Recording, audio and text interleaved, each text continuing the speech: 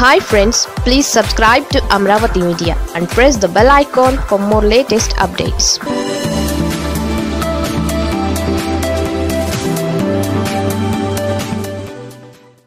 మంగళగిరిలో లోకేష్కు సరికొత్త ప్రత్యర్థి.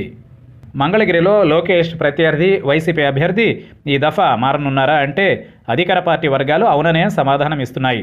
మంత్రి హోదాలో నారా లోకేష్ మంగళగిరి నుంచి పోటీ చేసి వైసీపీ అభ్యర్థి ఆళ్ళ రామకృష్ణారెడ్డి చేతిలో ఓడిపోయిన సంగతి తెలిసిందే. అయితే పోగొట్టుకున్న చోటే వెతుక్కోవాలనే పట్టుదలతో లోకేష్ ఉన్నారు.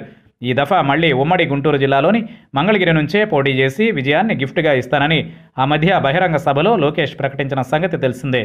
ఈ దఫా ముఖ్యమంత్రి YS Jagan why not one seventy five by one seventy five అనే నినాదంతో ముందుకెళ్తున్న సంగతి తెలిసిందే.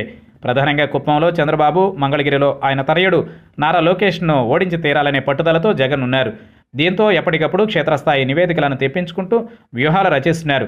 మంగళగిరిలో పూర్తిగా రాజకీయ పందహ మార్చాలనే ఆలోచనలో జగన్ ఉన్నట్లు వైసీపీ పెద్దల నుంచి సమాచారం అందుతోంది.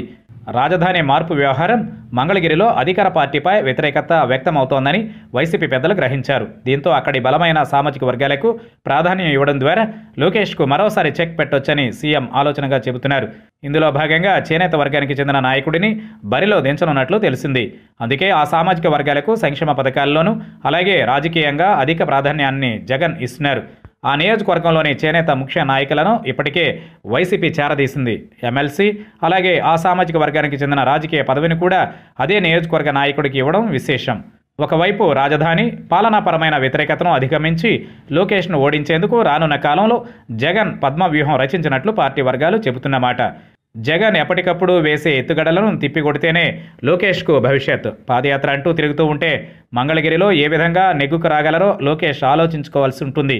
ప్రభుత్వంపై వ్యతిరేకతే తనను గెలిపిస్తుందని లోకేష్ పగటి కలలు కంటే మాత్రం రెండు వేల పంతొమ్మిది ఎన్నికల ఫలితమే రిపీట్ అవుతుందని గ్రహించాల్సి ఉంటుంది.